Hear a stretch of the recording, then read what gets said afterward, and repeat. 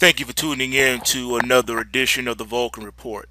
This end of day report is for trading on Tuesday, August the 23rd, 2016. All right, getting right into it here. It seems that we need to ask a question Does the Fed have everybody shook? I think that's a good question because the markets don't know what to do at this point. Everyone is afraid to go outside to the playground because the bully, i.e., the Fed, is outside waiting on the jungle gyms, threatening to punch any little kid in the face who doesn't come up off that lunch money. What's up, man? Come on. People, you know the Fed can't raise rates. I don't care how much jawboning they do, they can't raise rates. The day that they raise the rates is the day the Dow loses a thousand points, and it won't be a flash crash. It will just be a thousand points shaved off as punishment for the Fed raising the rates. And that's just how it is. Even if the Dow were to fall a thousand points, that's still not a crash. It's only 17,000. The Dow was at 17,000 for like forever. I came in here, you know, doing videos still. I guess the Dow was around what 10, 12,000 back in 08. I'm I can't remember right now. I'm tired. It's late in the day. So what? You get the point. So right now the Dow can fall 5,000 points, all right, and still be incredibly high. That's how much liquidity has been pumped into the system. An insane amount of money. I'm here to tell you that all the money still has not trickled into the system. It takes the Fed a long time for that money to trickle into the system. Whenever they lower interest rates, it's a big, you know, shot in the arm of adrenaline to the market, but it takes a while for it to trickle down into the whole economy of, of markets. It takes a while. I'm, I'm serious. So that's why you've been seeing the market still, you know, melt up. A few years back, I, I don't know if it was 2013 or 2014, uh, I, I, I did it live on the Wide Awake News show with Charlie McGrath, the late great Charlie McGrath, and I warned everyone. This is back when the Dow was crashing and everyone was calling, saying the sky was falling and woe in the end of the world. And I came on his show and said, Stop the presses. You're about to see the grandfather of all bull markets. You have not seen the highs. You're going to see bull market to make the 1990s bull market look tame. I said that. Well, where are you today? The Dow is hitting all time highs. It was just posted today. CNBC said that the NASDAQ composite hit a new all time high. There's so many games that are being played with people right now, it's not even funny. First of all, the NASDAQ did not hit an all time high. It did not. That's the NASDAQ composite that they're putting in front of your face. But it's not the NASDAQ 100. We can start jumping up and down and throwing a party when the NASDAQ 100 hits a new all-time uh, uh, new all-time high. All right? It needs to break 5,000. The NASDAQ composite, okay, fine. Hit 5,200, no problem. All right? The NASDAQ composite is like the Dow Jones Industrial Average. All right? So what? It's that 100 that needs to do something. The QQQ. All right, that's the real tech sector right there. Let that let that hit 5,000. Then we can say something. But until then, the Nasdaq 100 has not gotten back up again. It is the only one that has not gotten back up again.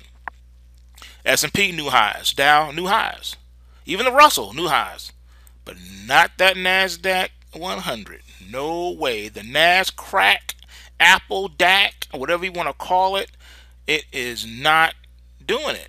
It's at 4,800 now, but that's still 200 points away. All right. It just needs 200 more points. So what am I saying to you on this day, August the 23rd of 2016? This crash that everyone has been crying about, talking about, chiming in about, writing articles about, all right, climaxing over mentally, emotionally, financially. Fine, you want your collapse? You got your collapse, all right? Fine, you got it. You can have it. But guess when it's coming? Your collapse will happen after the NASDAQ 100 hits new all-time highs. Once the NASDAQ 100 breaks 5,000, you can have your little collapse. But even then, it's not going to be a collapse because you just heard me tell you a few minutes ago the Dow can fall 5,000 points and still be incredibly bullish. That would only put it down to 12, 13,000. Come on, man. How is that a crash? Yeah, it's 5,000 points, but it's nothing. It's nothing. We can say the word crash. See, we have to define terms. When you say crash, we are talking about Dow 800. That's a crash. If the Dow drops below a 1,000, then that's a, that's a crash. We need to get back to the 1980s and 1970s Dow. then you can say that's a crash. Then I'll agree with you. I'll say, yeah, yeah, that, that was some crash. Mm, Dow 800. All right. If that's not if that's not what's going to happen, then there's no crash. Every drop in the market will be viewed as a pullback or a correction and an opportunity to get long. I'll tell you what will happen if the Dow were to cr crash 5,000 points tomorrow. It would make the billionaires of this earth even richer. They will become then they will become trillionaires. They wouldn't be billionaires anymore, they'd be trillionaires. Because then they would take all the financial resources they have left and buy that Dow at 800 because they know the next day it's going to go from 800 back to 15, I mean sorry, 18,000. So they'd be like, "Oh, we bought the low, the all-time lows, and look, here we are at all-time highs. You suckers, you sold in panic, and we bought everything. You idiots." That's why I'm telling you there is no collapse. All right, I'm off my soapbox into the video. Seven minutes into it. I am so sorry. I monologued for seven minutes. Looking at your Bitcoin inside, inside day. Nothing to talk about, nothing to see here. The Fed has everyone afraid to go to the playground. And what can I say? When the big, strong, muscle bound kid is kicking sand in your face, it makes it difficult to play duck, duck, goose around the jungle gyms, doesn't it? Well, that's what's happening right here. Stalled out. You're pulse waving though. You're in a positive pulse wave situation here. You're nice. You're, you're well supported down here but the market isn't really doing much. Um, it still needs to prove itself here and gain some kind of footing to to best this 600. Need a close above 600 to say that the downtrend is over in the Bitcoin. All right. So just wanted to put that out there. All right, let's move on. All right, switching our focus now to uh, the U.S. dollar. All right, as you can see here, the US dollar is negative pulse waving now. It is dropped below the supports and as you can see, it's trading, it's like an inside day or inside a week so far. No real acceleration or continuation pattern. Just taking a breather here, deciding what it wants to do, waiting to hear from the Fed. Overhead resistance is at 97.54 and right now uh, we don't have any support looking for support right now. Oversold, but locking in. So not looking good. The Fed is going to need to intervene again soon to prevent this thing from dropping all the way below 90. All right, looking here at your crude oil. Uh, crude oil is in a positive pulse wave situation now, trying its best to, excuse me, break above 50, and it probably will do so despite the pullback. Uh, so those of you that uh, subscribe to the uh, weekly pulse wave price triggers, definitely check your sheet uh, for the um, the price inflection point on this crude oil because right now it's looking like it's going to take out the 5182 price inflection point and that should put us around 52 53 and change possibly before the week is even out. So keep your eyes and ears open for that. That is a possibility moving forward in the crude oil. All right looking at the uh, the gold futures now flat nothing really happening. There's there's really no selling.